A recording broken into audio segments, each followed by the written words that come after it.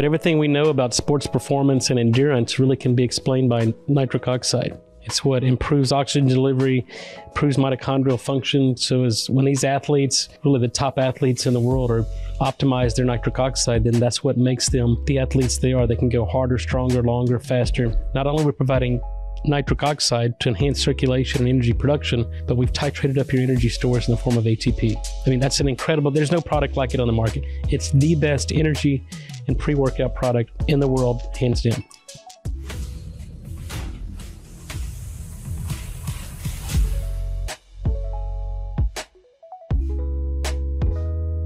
Okay, episode two.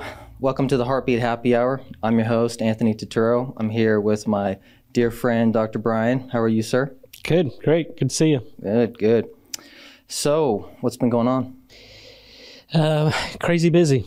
Yeah, we all lots of travel, uh, a lot of good things going on, new product development, spreading the gospel around nitric oxide. Here we are. I tried that new product last night. Incredible.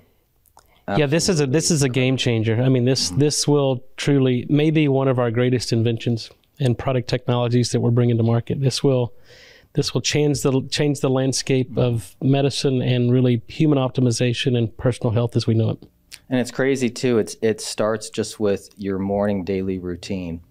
It's how we start the day. I'm I'm I'm really excited to launch Yeah. that.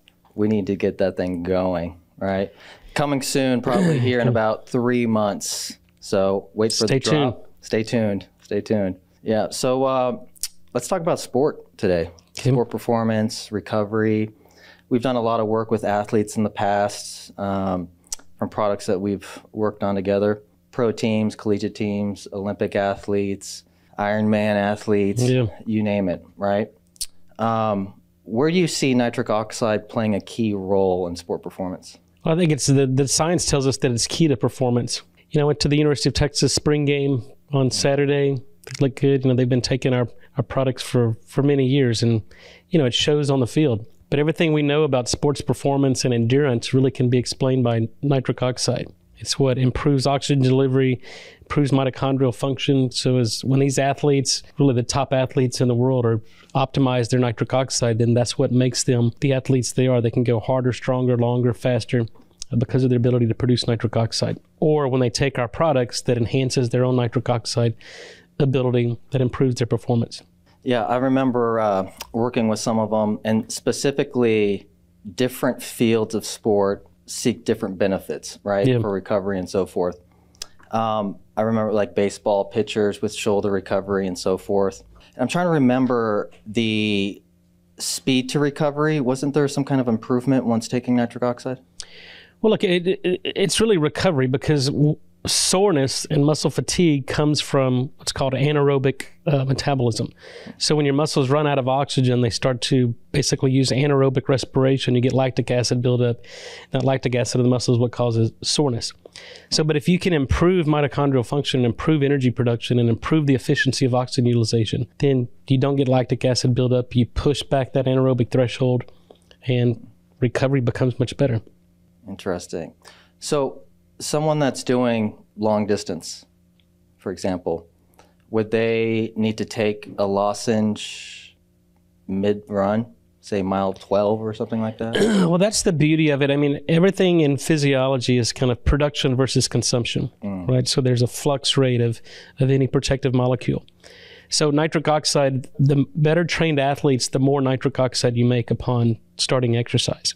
But then obviously you consume that the longer you go. And so when you run out of oxygen, you run out of nitric oxide. When you run out of nitric oxide, you run out of oxygen. So what we found is these protocols, especially on, you know, Ironman, these you know, multiple hour races that you start with the nitric oxide. You know, I like the Dino beet powder because that provides kind of a, a time release of nitric oxide.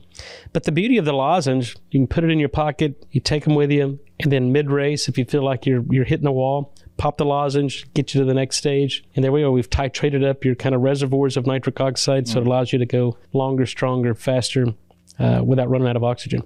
Hitting back on something, you created a product, InnoBeats, that you Yeah. just mentioned, which included ATP. That's right. Can you harp on that a little bit? Yeah, so everything we do revolves around nitric oxide. So if your body can't make nitric oxide, we do it for you. But we can also apply these same principles to other things. If you have mitochondrial dysfunction, your body can't make ATP, then what do you got to do? We got to give it to you. We got to give it for you. Mm. Right? So the the NO beads contains nitric oxide. We put electrolytes in there to improve cellular hydration. Okay. And we add the mitochondrial ATP. So we're basically again titrating up your ATP stores. So now you've got an energy reservoir not only we're providing nitric oxide to enhance circulation and energy production, but we've titrated up your energy stores in the form of ATP. I mean, that's an incredible, there's no product like it on the market. It's the best energy and pre workout product in the world, hands down. For for our viewers at home that aren't that familiar with mitochondrial, could you explain a little Yeah. bit more on that? So, the mitochondria are the energy producing organelles of the cell.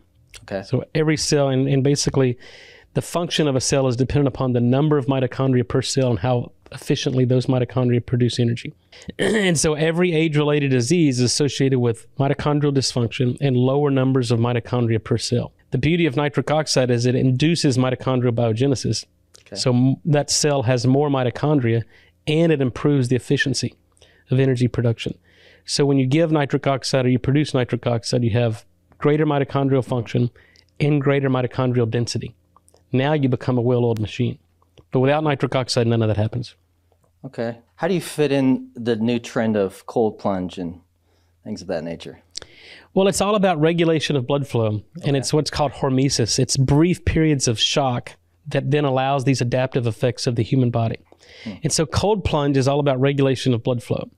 So, when you get in an ice bath or a cold plunge, basically all the peripheral blood vessels constrict because it tries to divert the blood supply internally to preserve the heat. Mm-hmm. Because if you dilate the peripheral blood vessels, you get heat exchange, so you're losing heat. So then what happens, you get constriction of the peripheral blood vessels, and then it basically directs all the blood flow internally to preserve that heat. And then when you get out, you get vasodilation, and now you've restored. So it's it's basically exercising your blood vessels. And so it's the brief periods, but also the other adaptive effects of that is it turns, you know, white fat into brown fat. And what does that mean? That induces mitochondrial biogenesis. So mitochondria or kind of what makes the mm-hmm. fat brown. It's what, you know, in, in chicken you got dark meat and white meat. Mm-hmm. The dark meat is the meat that has more mitochondria. It's really the ah. fast twitch muscles Okay. right? And so that is what we do when you turn it when you're making brown fat. It's thermogenesis. It in- increases your basal metabolic rate, so you burn more calories. And it's look, it's a it's a proven time, you know, tested, proven kind of technique to allow for the regulation of blood flow. That's awesome.